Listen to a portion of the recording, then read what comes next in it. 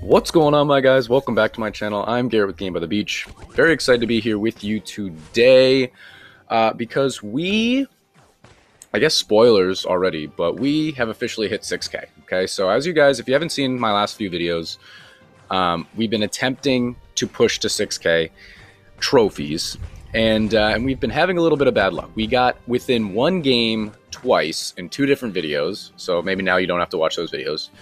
Uh, so I was like, you know what? I'm gonna not try and get three wins in a row on video because that's really really tough anyway.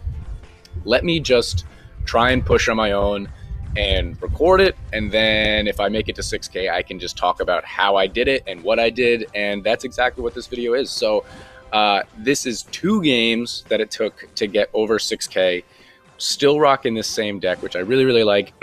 Don't necessarily know if it's the uh, absolute best version. I love Thunderer, but I have been beat, beaten a lot by the Frost variation of this deck. So maybe if you wanted to try out Frost, it would work pretty well. That's probably what I'm going to be pushing with in the near future.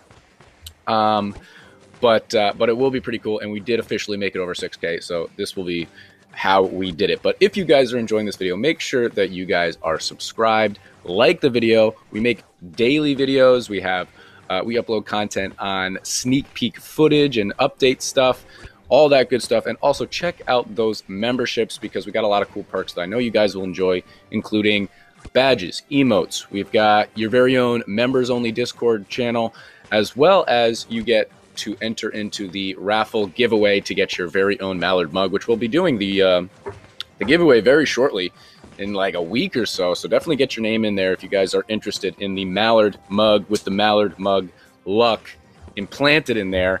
But let's jump into this game here. We're just about to go up against Warlock. Here we go. And uh, what do we got? 51. Not too shabby at all. You can see I've upgraded my Crystalmancer. We actually insta-killed it with J, which is one of the J um, skills that it has, or one of the you can insta kill the first boss or like crit damage or something. But we upgraded our Bombardier as well as our Crystalmancer right away, purely so we could take out the boss and not get switched. So I do that pretty often. I don't usually upgrade Bombardier first, but with this deck, I seem like that's usually the first thing I do. I upgrade Bombardier, and then I'll upgrade either Ivy or Crystalmancer. You don't really need to level up Ivy early in the game because it's instant killing bosses pretty much anyway. But after wave one, then you want to start doing it. But you can see we already got a couple of rank two hexes. We got a rank two hex on a rank two Thunderer, which is okay, and a rank two hex on a rank two Ivy, which is great. So we got our hex all the way up to three. We've got our Crystalmancer to two. Bombardier still at two, obviously. And we just got our hex to four, our Ivy to three, Bombardier to three, Crystalmancer to three, and we're kind of neglecting the Thunderer as we usually do because we're just interested in its chain, so not necessarily its damage.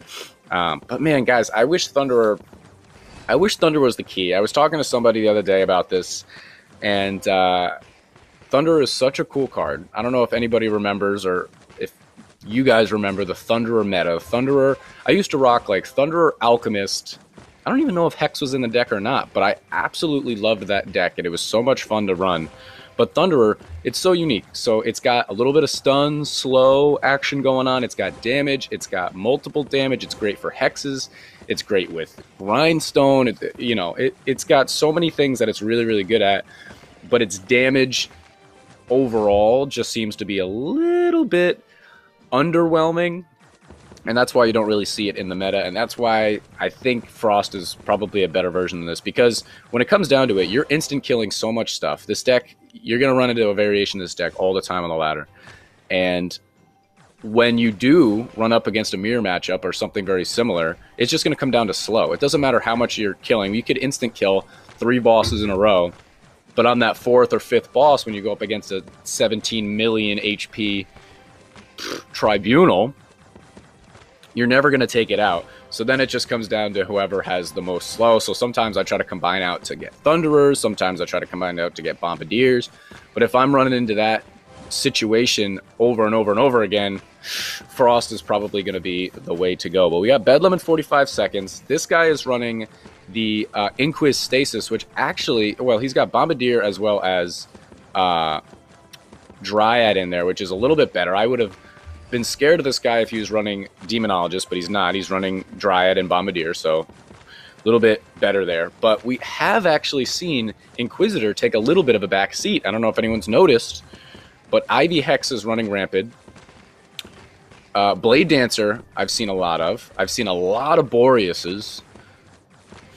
A little bit of Cultists. I mean, yeah, you still see. You probably. I don't know. You don't see as many Inquises, and I absolutely love it. I love Inquis. It's super fun to run, but you've seen Cult. You've seen uh, Inquis for so long everywhere that it's like, it, it's happy when you have have a little break. So now we're going up against Bedlam. So if it does switch us, it's going to be really interesting. We only have three Crystal Crystalmancers, and there we go. We got switched, but now we have five. The only thing is we don't have any hexes. So that's my only priority right now is to find some hexes. So you can see I combined out Crystalmancers right away. I really aggressively combine out Crystalmancers. I'm not really worried about them because during waves, they don't matter at all. Yes, I'd like to have a few of them when a boss comes, but right when the wave starts, I really just got to find hexes next to Ivies because that's how I'm going to survive. And in this deck, hexes next to Thunderers would be even better. So I even combined out two rank 3 Thunderers there. Ended up getting a rank 4 Bombardier. Not really what I was fishing for, but it will do the trick. And we've got now a rank 2 Hex on two rank 3 Ivies and a rank 2 Ivy, which is pretty much, that's holding down the fort. That's everything. So we do have a rank 1 Hex on a rank 3 Thunderer, which honestly isn't that bad. Like, yeah, I'd rather that Hex was a little bit higher, but a rank 1, at least it has a chance at getting instant kills with the Thunderer. So now my Thunderer is not useless. And if you hadn't noticed yet, all our cards are max now. We did max out our Thunderer because we did have a bunch of Thunderers after Bedlam, so you kind of have to. But now we got Tamer. Tamer is going to be a little bit tough for our mans over here. He's got a lot of copies which, as you know, that's reduced damage. So we just took ours out. He's got 4.2 to go through, and I'm not sure if he's going to be able to. But this is going to be a nice, long wait for us. We're going to hang out and do nothing. Let's see. He's got 3.4. I played these games yesterday, so I don't even... I, I know I win, you know, spoilers, but I don't even remember exactly how it went. So it'll be like a little surprise. We're watching it together, guys. A little family movie night. We're just hanging out, you know? What's better than a movie night on the beach or by the beach? Movie night by the beach. Starting a new channel.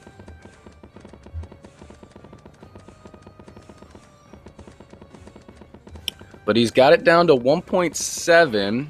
How many? He does have a lot of stasises, so uh, that's one thing that's definitely keeping him alive because his damage isn't going to do it, but his stasises could keep him alive. 800 to go through. 700. Can he get there?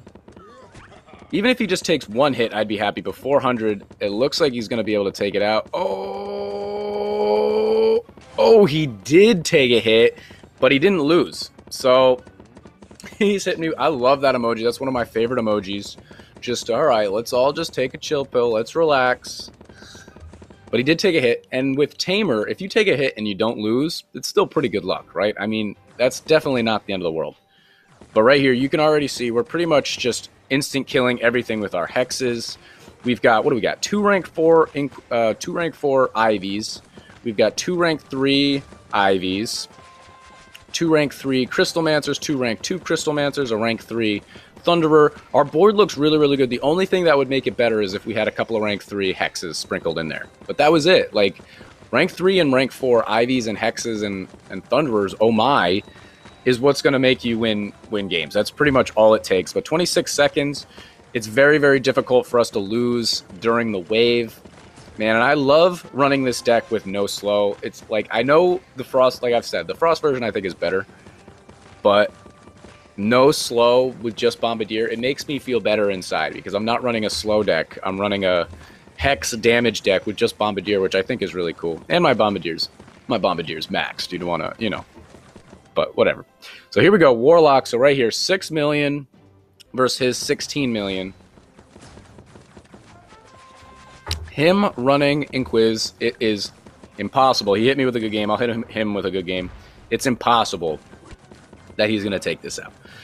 And I was kind of torn. It didn't really matter, but I was torn because we had six mil, and I was like, man, we we have a shot at taking this out. Not that it matters at all, but should I spam I tried to combine out there, lagged, didn't didn't get it.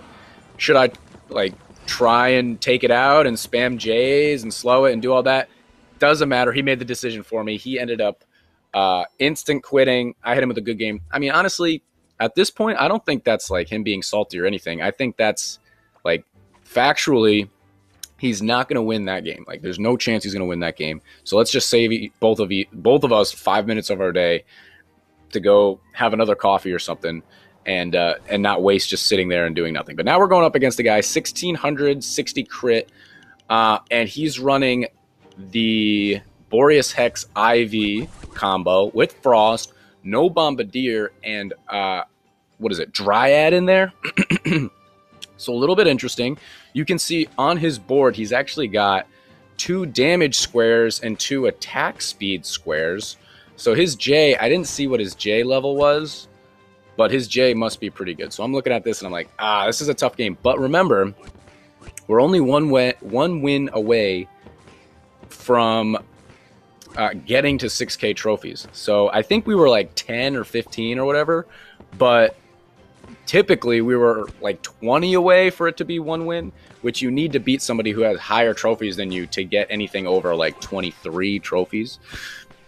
But make sure if you guys want to catch me live when I'm actually playing, check out my live streams. I do it every Friday, 11 a.m. Eastern Standard Time, right here on YouTube to make it super simple for you guys we always have a lot of fun just hanging out, chatting, talking about the update, talking about decks and pushing and whatever else you want to talk about. Uh, and we'd, we'd absolutely love to have you there. But we got Bedlam in 50 seconds. So notice what I upgraded first. It was my Bombardier because I really want my Bombardier to trigger so that I can pause Bedlam and take it out.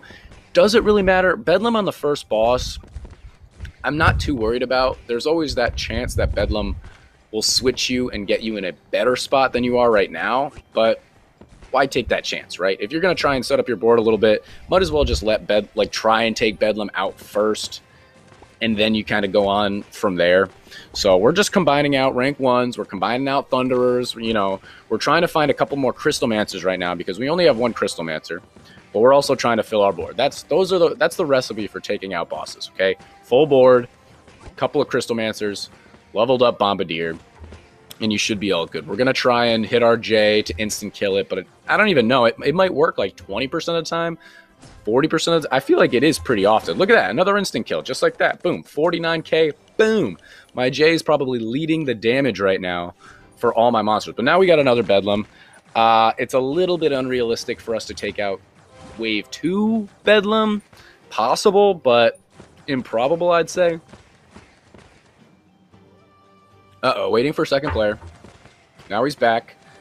But a little bit interesting. This guy's deck is definitely interesting. He's way more focused right now on Boreas's. Again, I say that even though it's RNG, so maybe he's just tapping the button and getting a bunch of Boreas's and he wants his board to look different. But he does have a rank 4 Ivy. And he does have that uh, Dryad in there, which the deck I'm running, I feel like having Dryad in here would be really, really good.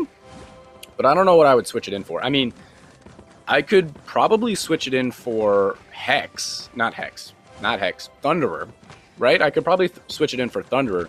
The only thing is Dryad's great for the like early game. Late game, I don't think it's really going to do all that much. By the time we're a late game, we're going to have a rank 2 Hex and a rank 3 Ivy. It's going to happen. Right now, we have a rank 3 Hex and a rank 2 Ivy. It's the same thing. Um, you don't really need Dryad. And the thing with this deck is if you're playing against the same deck, you're never going to beat them in wave two, wave three, even maybe wave three. If they're playing it at all intelligently with decent RNG, right? Because there is definitely some luck involved. You shouldn't lose on the first, second, third wave. It's going to go, maybe not, maybe I shouldn't say three. You're not going to lose on the first two waves, right? Third wave, fourth wave, fifth wave, sure that's when it that's when you end up losing. So those waves that you're playing for, I don't think Ivy, sorry, I don't think Dryad is going to make the difference. But we're trying to take this guy out. Ooh, we did take Bedlam out before it switched us. Uh, he definitely got switched, but he got a couple of rank three hexes over there. Another hex. Oh, oh, that's brutal. Oh, that's brutal. He has a nice high rank in hex. But you know what? When I'm I'm actually remembering this game now, when I was playing, I don't think I realized he got switched. A, and B, I looked at his board one at one point. Was like, dude, he's got four units on his board. Look at this. I didn't realize what happened. He had a million dryads and then combined out all his hexes. I'll tell you right now, patience is king because he had a rank three hex on a rank, I think it was a rank three or a rank four. Sorry, a rank three Ivy on a rank three or four hex, and he combined it out. That don't do that. Don't do that. He that could have just carried his whole wave, but he saw that they were the same unit, so he decided to combine them out, and that's the board that he ended up with.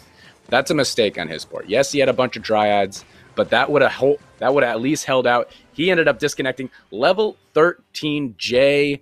Absolutely love to see that when I'm rocking a level five. Let's see. His crit damage was what?